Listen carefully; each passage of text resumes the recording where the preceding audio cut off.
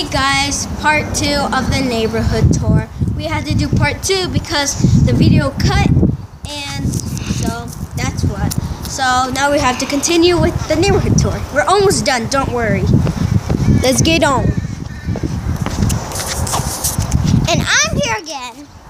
Of course you're here, Of course I'm here for her too. Why wouldn't I? because you're a ghost. Just kidding.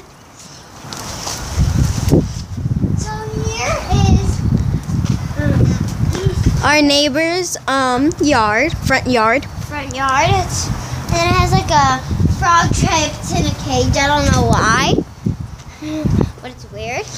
That's there, I think, and that's our garage. And here is a little place, and that door is ruined, obviously. Oh, I, I know. And here is some little things. Is the place. What? Well, So, So so I guess that's it. there's a little corner back there, but we can't show you because your mom didn't let